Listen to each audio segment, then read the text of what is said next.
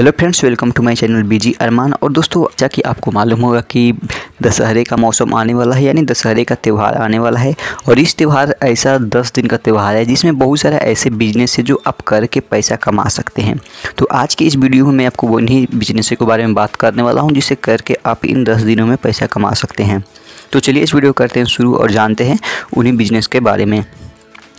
सबसे पहला बिज़नेस है, वो है पूजा सामग्री का बिज़नेस दोस्तों, दशहरे में लोग देवी का पूजा करते हैं और इसके लिए बहुत सारा सामग्री लगता है। अगर आप चाहें तो इन दस दिनों के लिए आप पूजा सामग्री का एक टेंट गिरा के बिज़नेस कर सकते हैं या स्टॉल लगा के। आप 10 दिन में ना तो रूम आपको मिलने वाला है, ना तो आपको कोई दुकान मिलने वाला है। इसलिए दोस्तों आप एक कोशिश करिए, एक टेंट लगाए, उसमें पूजा सामग्री का सामान बेचना शुरू कर दें। ये भी सामान दोस्तों अगरबत्ती, धूप, सिंदूर, फूल वगैरह हो सकता है जो पूजा में इस्तेमाल किया जाता है।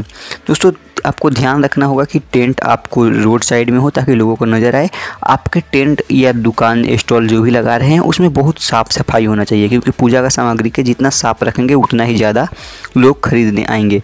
उसके बाद आपको ये एक और बात का ध्यान रखना होगा, आप दस दिन के हिसाब से ही माल लाए, जो भी माल आप ला रहे हैं।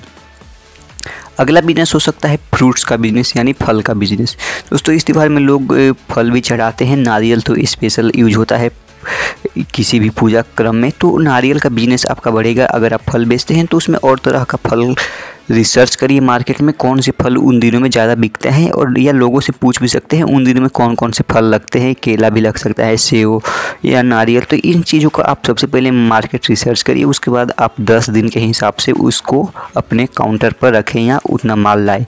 ये होता है फल का बिज़नेस अगर आप ज़्यादा माल लेते हैं तो दस दिन में हो सकता है कि आपका फल ख़राब भी हो जाए, इसलिए आप इसको बहुत ही ध्यान से करिएगा।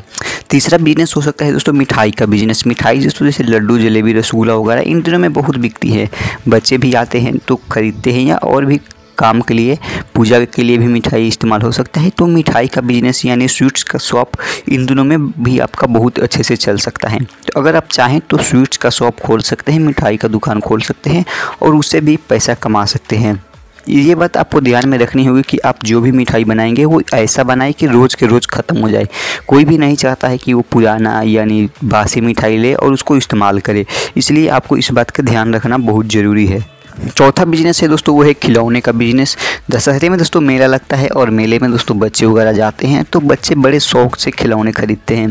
खिलौने और मिठाई बच्चों का दो ही चीज़ फेवरेट होता है तो इन दिनों में खिलौने का जो आप दस दिन का स्टॉल लगाएँगे तो आपका स्टॉल बहुत अच्छा चलेगा। खिलौने का बिज़नेस के बारे में दोस्तों आपको ये पढ़ना है कि पूरा प्रोफेशनल तरीके से कैसे करें तो लिंक एक डिस्क्रिप्शन में दे दूँगा। मैं अपने वेबसाइट पे इसके बारे में बता रखा हूँ।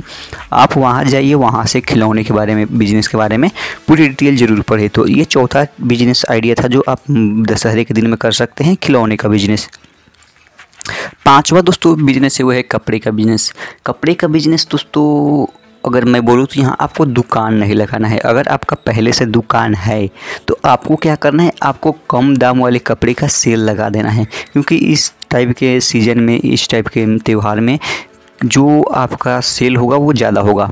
क्योंकि कोई भी नहीं चाहेगा कि ब्रांडेड कपड़े रोड साइड से ले। क्योंकि आप रोड साइड या कोई छोटा सा काउंटर वगैरह में ही लगाएँगे, जो भी लगाएँगे। तो इसलिए दोस्तों, अगर आपका कपड़े का दुकान ऑलरेडी है तो छोड़ जो कम दाम वाले कपड़े हैं, उनका आप सेल लगा सकते हैं। अगर आपका कपड़े का दुकान नहीं है, आपको आपको एक नया दुकान करना है तो आप सेल लगाए। आप क्या करें मार्केट से दो बड़े बड़े मार्केट है, उसमें से जो कम प्राइस वाले कपड़े हैं, उसको ख़रीद के उसका सेल लगाए।